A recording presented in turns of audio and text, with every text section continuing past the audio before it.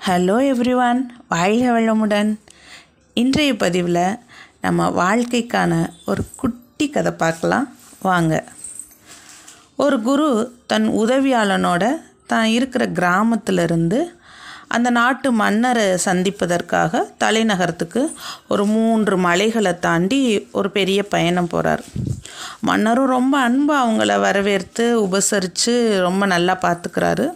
மூன்று நாட்கள் அங்கே தங்கியிருந்துட்டு பிறகு அவங்க அந்த அரண்மனையை விட்டு கிளம்புறாங்க. அப்போ வழி அனுப்புகிற சமயத்தில் அந்த குருவுக்கு அந்த மன்னர் வந்து ஒரு அன்பளிப்பு கொடுக்குறாரு. ஐயா அரேபிய நாட்டிலிருந்து எனக்காக வரவழைக்கப்பட்ட ஒரு உயர் ரக பேரிச்சம்பழங்கள் இது.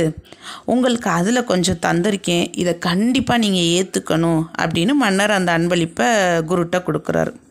ஒரு அஞ்சு கிலோ பேரிச்சம்பழம்ல ஒரு பையை வந்து கொடுக்குறாரு.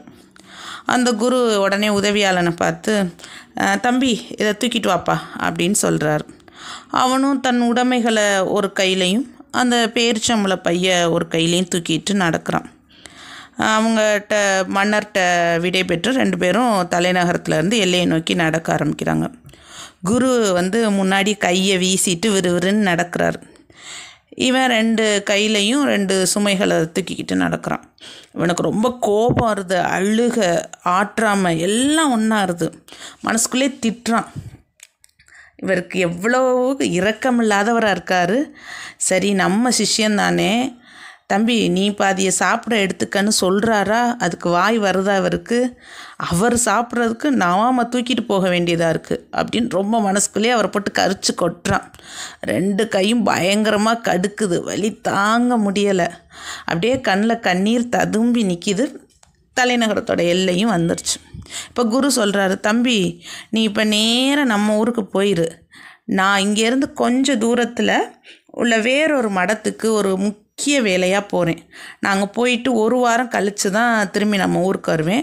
நீ வந்து இப்போவே நம்ம ஊருக்கு போப்பா அப்படின்னு சொல்கிறார் உடனே இவனும் சரியா உங்கள் உத்தரவுக்கு அடி பண்ணிடுறேன் இந்தாங்க உங்களுடைய மன்னர் கொடுத்த அன்பளிப்பு அப்படின்னு கொடுக்குறான். டேய் தம்பி அவர் எனக்கு கொடுத்தாரு. இந்த தலைநகரம் டவுனுக்கு வந்து நான் உனக்கு எதுவுமே உனக்கு வாங்கியே தரலை. இந்த பேர்ச்சம்பள பையன் நீ வச்சுக்கடா நீ சாப்பிட்றா அப்படின்னு சொல்லி நீ எடுத்துகிட்டு போ அப்படின்னு சொல்கிறாரு சொல்லிவிட்டு அவர் கிளம்பிடுறாரு இவன் மறுபடியும் த உடைமைகளை ஒரு கையிலையும் அந்த பேரிச்சம்பளை பைய இன்னொரு கையிலையும் தூக்கிட்டு அந்த மூணு மலையும் கடந்து போகிறான் ஆனால் இப்போ அவனுக்கு வலிக்கவே இல்லை. அந்த கொஞ்ச தூரத்தில் அப்படியே கை கடுத்துச்சு கையே கலண்டு விழுகிற அளவுக்கு அவனுக்கு வலி தாங்க முடியலை.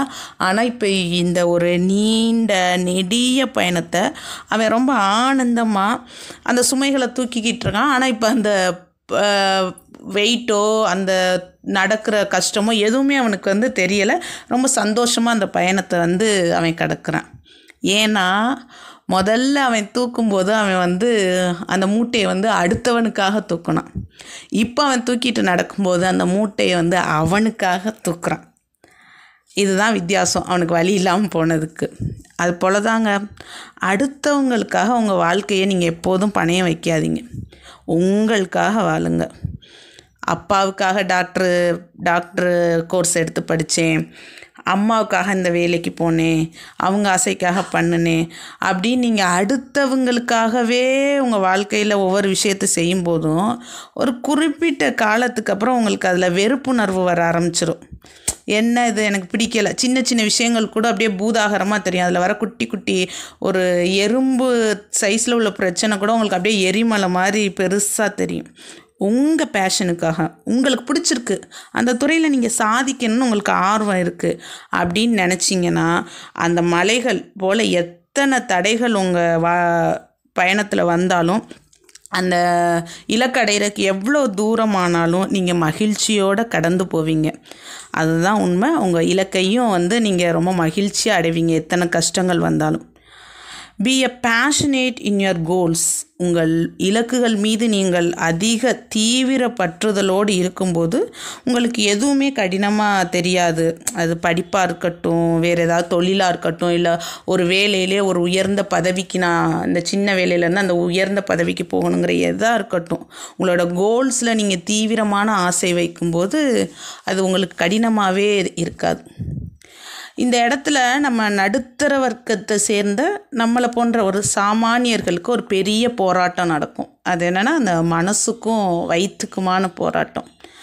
சிலருக்கு வந்து அந்த பேஷனும் ப்ரொஃபஷனும் ஒன்றாவே இருக்கும். அவங்களுடைய தொழிலும் அவங்களுடைய அந்த ஆசையும் வந்து ஒரே துறையில் இருக்கும்போது பிரச்சனை இல்லை.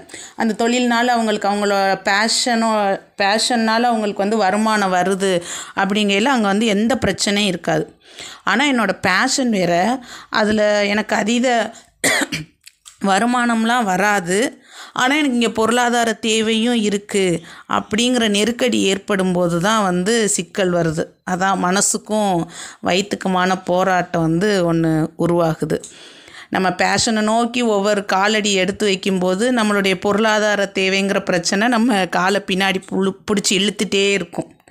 அதுக்கும் இந்த கதையிலேயே ஒரு பதில் இருக்குது எப்படி அவன் ஆசைப்பட்ட பேர்ச்சம்பளம் மூட்டையை தூக்கிட்டு நடக்கும்போது அவன் உடைமைகள் வச்சுருந்த இன்னொரு மூட்டையும் சேர்த்து தான் தூக்கிட்டு போகிறான் ஆனால் அந்த சுமை வந்து அவனுக்கு கஷ்டமாக தெரியலை. இந்த பேர்ச்சம்பளத்தை தூக்குறனால அந்த மகிழ்ச்சியிலேயே அந்த சுமை வந்து அவனுக்கு பெரிய வலி வந்து கொடுக்கல. நாமளும் நம்ம வயிற்றுக்காக நம்ம குடும்பத்தோட பொருளாதார தேவைக்காக ஏதாவது ஒரு வேலையோ தொழிலோ செய்வோம்.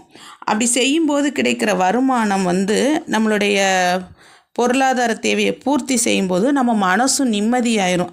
அப்பா நமக்கு வந்து எந்த பண பிரச்சனையும் இல்லை. நமக்கு ஒரு வேலை இருக்குது அதில் வர சம்பாத்தியத்தை வச்சு நம்ம பொருளாதாரத்தை நம்ம குடும்பத்தை நம்ம நல்லா கவனிச்சுக்கிறோம். அப்படின்னு மனசு நிம்மதி அடையும் போது நம்ம பேஷனுக்கான புது புது க்ரியேட்டிவான ஐடியாஸ் வந்து நம்ம மனசே கொடுக்கும். இப்படி பண்ணா என்ன? அப்படி பண்ணா என்ன? உன்னோட இலக்கு அடையிறதுக்கு நீ இந்த முயற்சி இந்த வழியில் முயற்சி எடுத்தா என்னன்னு நம்ம புத்தியும் மனசும் எப்போ பொருளாதாரம் உண்மை அதுதான். பொருளாதார ரீதியாக நம்ம திருப்தி அடையும் போது நமக்கான தேவைகள் திருப்தி அடையும் போது மனசும் புத்தியும் ரொம்ப ஆக்டிவாக நம்மளுடைய இலக்குகளுக்கான நிறைய புது புது வாய்ப்புகளை பற்றி சிந்தனையை கொடுத்துக்கிட்டே இருக்கும். நாம் வாழ்க்கை பயணத்தில் எந்த ஒரு காரணத்துக்காகவும் சாதிக்க நினச்ச விஷயத்த கைவிடவே விடாதீங்க. நீங்கள் கைவிடாமல் உங்கள் ஆசைக்கான முயற்சிகளை பண்ணிக்கிட்டே இருக்கும்போது அதில் கிடைக்கிற சின்ன சின்ன ப்ராக்ரஸ் சின்ன சின்ன முன்னேற்றம் கூட முன்னேற்றம் அந்த முன்னேற்றத்தினால உங்களுக்கு கிடைக்கிற சின்ன முன்னேற்றங்கள்னால கிடைக்கிற உங் சந்தோஷமும் புத்துணர்ச்சியும் இந்த பக்கம் இருக்கல சும உங்களோட அந்த போரான ரெகுலர் லைஃப்பில் ஏற்படுற அந்த சலிப்புத்தன்மை என்னடா வாழ்க்கை இது?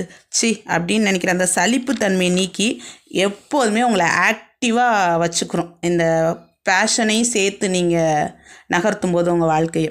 அறுபது வயசு வரை நான் பொருளாதாரத்துக்காக தான்ப்பா ஓடி ஓடி உழைக்கணும். என் பிள்ளைகளுக்காக உழைக்கணும் எனக்காக உழைக்கணும் என் குடும்பத்தை செட்டில் ஆக்குறதுக்கு உழைக்கணும். அறுபது வயசு முடிஞ்சு ரிட்டையர்ட் ஆகிட்டு அறுபத்தி ஓராவது வயசுலேருந்து நான் என்னோடய ஆசை என்னோடய கனவை நிறைவேற்றுறதுக்கான வேலையை பார்க்குறேன். அப்படின்னு நீங்கள் சொல்லவே சொல்லாதீங்க. ஏன்னா அறுபத்தோராவது வயசுலேயும் உங்களுக்குன்னு சில கமிட்மெண்ட் வெயிட் பண்ணிக்கிட்டே இருக்குது never dream for your success work for it இன்றைக்கே உங்கள் பேஷனுக்கான முயற்சியை தொடங்குங்க. கண்டிப்பாக அது உங்கள் பயணத்தில் சுமையாக ஏற்கனவே சுமையாக இருக்கிற சில விஷயங்களை சுலபமாக நகர்த்துறதுக்கு ஒரு புத்துணர்ச்சி தர ஒரு விஷயமாக உங்களுடைய பேஷனை நோக்கிய பயணம் உங்கள் வாழ்க்கையில் வந்து உதவும். வாழ்கிறது ஒரு வாழ்க்கை. அதை நம்ம ஆசைக்காக வாழுங்க. ஏன்னா இது நம்ம வாழ்க்கை. நன்றி நற்பவி.